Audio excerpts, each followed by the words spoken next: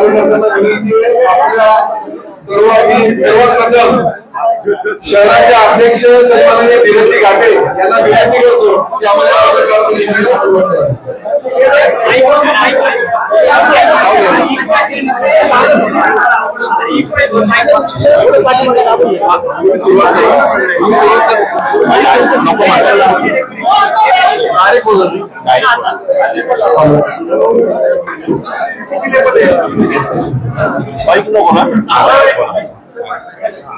पत्रकार परिषदेला सुरुवात लोकसभेचे महायुतीचे अधिकृत उमेदवार भारतीय जनता पार्टी महाराष्ट्र राज्याचे महामंत्री मंजुलाना मोहोळ हे आदेशी समाज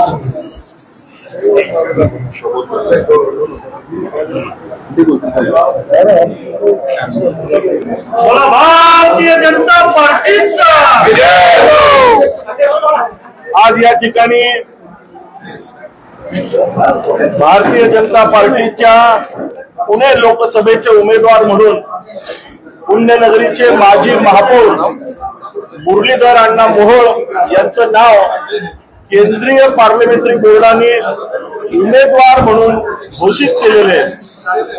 भारतीय जनता पार्टी आणि महायुतीचे मुरलीधर मोहोळ हे पुणे लोकसभेचे अधिकृत उमेदवार असणार आहेत. मी अण्णांचं भारतीय जनता पार्टी पुणे शहराच्या वतीने या ठिकाणी मनापासून अभिनंदन करतो.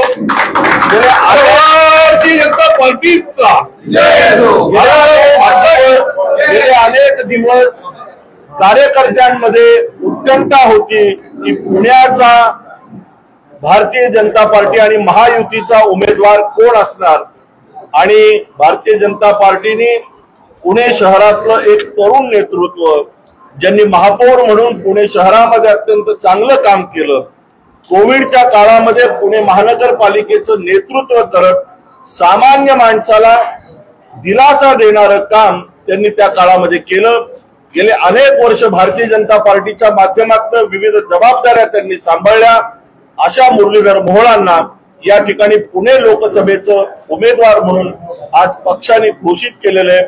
मला खात्री आहे की महायुतीचे उमेदवार मुरलीधर मोहोळ हे पुणे लोकसभेतनं मोठ्या मताधिक्याने निवडून येतील. कार्यकर्ता हा संघटित आहे. संघटना ही तयारीत आहे आणि महायुतीची पुण्यामध्ये एक ताकद आहे.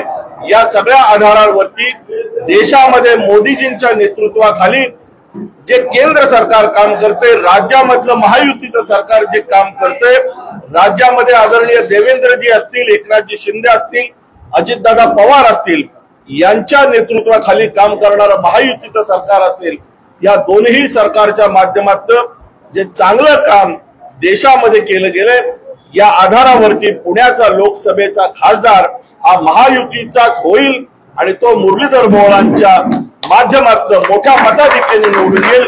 मी पुन्हा एकदा मनापासून भारतीय जनता पार्टी पुणे शहराच्या वतीने तमाम कार्यकर्त्यांच्या वतीने अण्णांना मनापासून शुभेच्छा देतो. धन्यवाद. भारतीय जनता पार्टीचा नमस्कार. खरं तर सर्वप्रथम मी एक भारतीय जनता पक्षाचा कार्यकर्ता म्हणून माझ्या सर्व पक्ष नेतृत्वाला मनापासून धन्यवाद देईन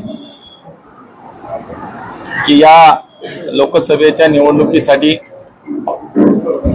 पुणे लोकसभेचा उमेदवार म्हणून मला आज त्यांनी संधी दिली आहे. माननीय देशाचे लोकप्रिय यशस्वी प्रधानमंत्री नरेंद्रजी मोदी आहेत. माननीय अमितभाई शहा आमचे राष्ट्रीय अध्यक्ष माननीय जे पी नड्डाजी आमचे नेते राज्याचे उपमुख्यमंत्री आदरणीय देवेंद्रजी या राज्याचे मुख्यमंत्री आदरणीय एकनाथजी शिंदे साहेब उपमुख्यमंत्री अजितदादा माझे संघटनेतले आमचे कुटुंब प्रमुख आमचे पालक मान्य बावनकुळे साहेब आमचे नेते चंद्रकांत दादा पाटील या सर्व नेतृत्वाला मी एक मान्य आठवले साहेब या सर्वांनाच मी खर तर या सर्व कार्यकर्त्यांच्या वतीनं धन्यवाद देईन. व्यक्ती म्हणून जरी माझं नाव आलं असलं तरी एक नक्की आहे की याच्यामध्ये भारतीय जनता पार्टी हा एकमेव पक्ष आहे. जो सर्वसामान्य कार्यकर्त्याला नेता करतो सर्वसामान्य कार्यकर्त्याच्या मागे पक्ष हा उभा राहतो. मी एकोणीसशे ब्याण्णव त्र्याण्णव साली वॉर्डाचा अध्यक्ष होतो.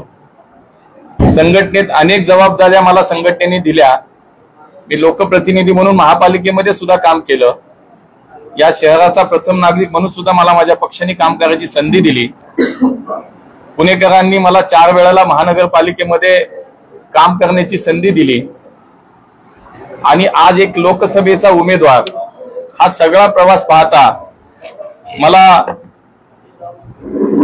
कार्यकर्त्यापासून लोकसभेचा उमेदवार हा सगळा प्रवास कुठलीही राजकीय पार्श्वभूमी नसलेला कार्यकर्ता हा लोकसभेचा उमेदवार होतो. हे केवळ आणि केवळ भारतीय जनता पक्षातच होतं. आणि म्हणून व्यक्ती म्हणून जरी मी असलो तरी आमच्यातला प्रत्येक जण हा कार्यकर्ता हा मी प्रत्येक जण कार्यकर्ता उमेदवार म्हणून पाहतो याच्याकडे. आज प्रकर्षाने माननीय खासदार स्वर्गीय गिरीश भाऊ बापटांची सुद्धा आठवण आम्हाला सगळ्यांना नक्की होते. की चाळीस पन्नास वर्ष या शहरातल्या सामाजिक राजकीय जीवनामध्ये त्यांनी काम केलं.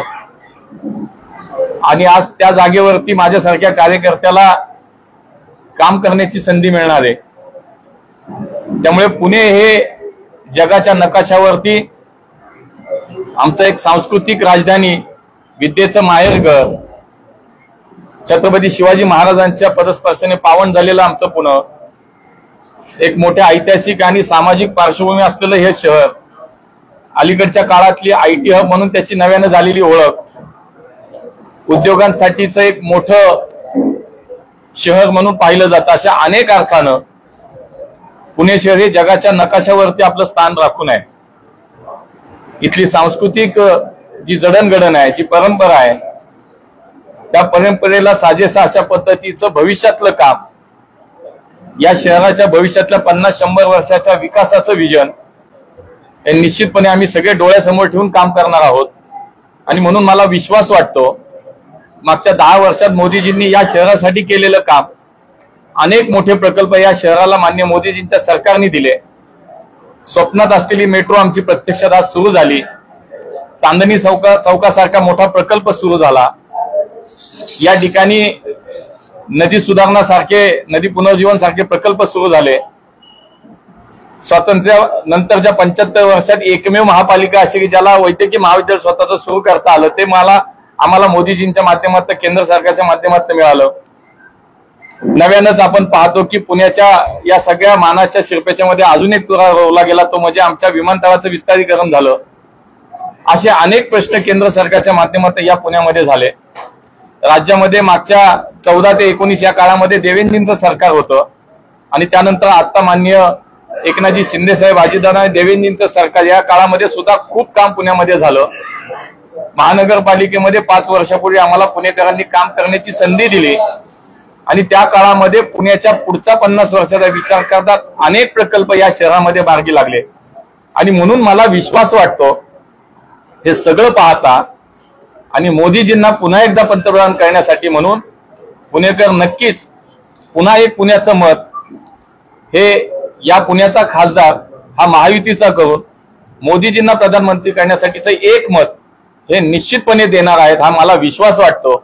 आणि म्हणून आज ही उमेदवारी जाहीर झाल्यानंतर आम्ही सगळेजण एकत्रितपणे काम करणार आहोत.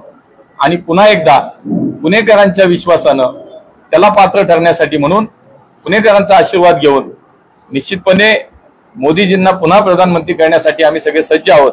आणि मला विश्वास आहे की महायुतीचा उमेदवार म्हणून आमचे सगळे मित्र पक्षातले आमचे सहकारी आम्ही सगळे एकत्रितपणे पुन्हा एकदा पुणेकरांचा विश्वास संपादन करू आणि मोठ्या फरकानं या शहरामध्ये विजय संपादन करू असा मला विश्वास वाटतो. अण्णा अं, अनेक अनेक नावं जी आहेत ती चर्चेत होती या सगळ्या पहिल्यापासून महायुतीचा उमेदवार म्हणून मी शहराध्यक्षाने तोच प्रश्न विचारला. अं, मूळ जे नाव होतं मुलिकाचं देखील नाव समोर आलं होतं, पण ते प्रेस कॉन्फरन्समध्ये दिसत नाही. नाही असं होतं शेवटी लक्षात घ्या ही लोकशाहीची प्रक्रिया आहे.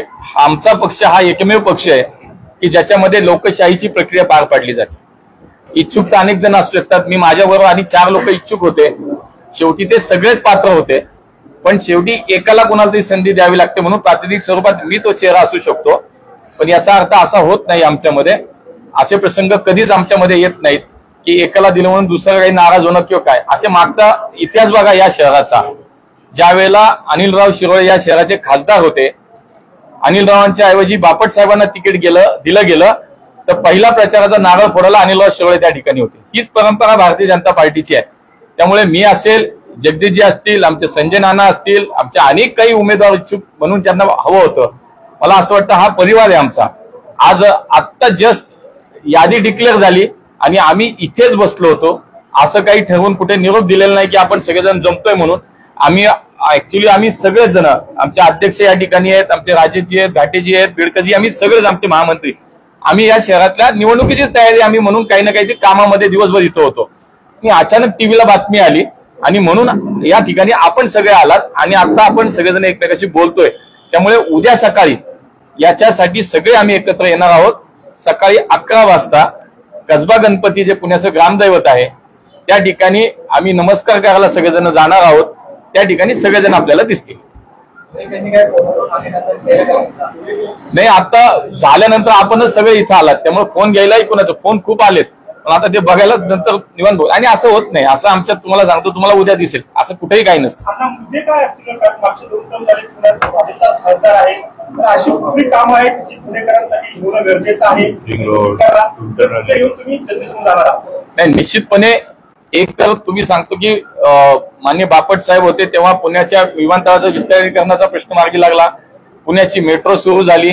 केंद्राच्या माध्यमातून चांदणी चौकाचा प्रकल्प गडके साहेबांच्या माध्यमातून पूर्ण झाला.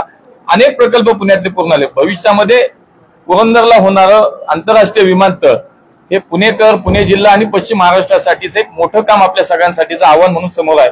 मला असं वाटतं विमानतळाचा विषय असेल.